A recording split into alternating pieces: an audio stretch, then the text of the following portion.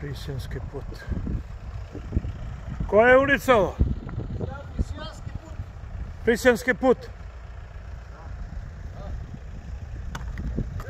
Ušli u podrume, a? Svi do, do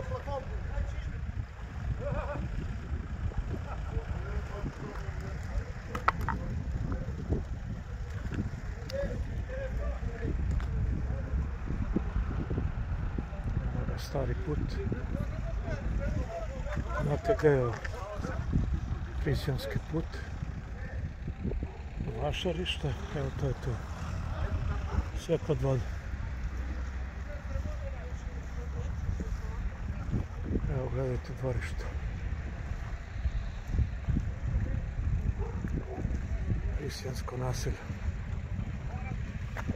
Evo je svinja pod vodom. Čija je ova svinja tamo? Ova svinja će se udaviti tamo.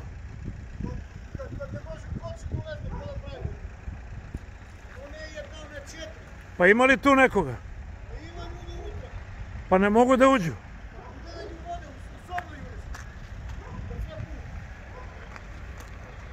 Ima još jedna svinja, dve. Alo, deda, svinje će da se udave tamo.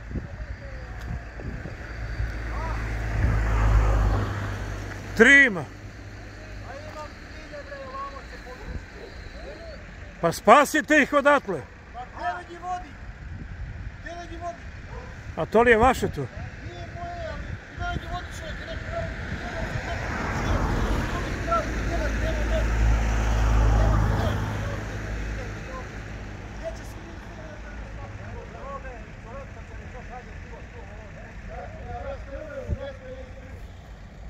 Plivaju u vodi.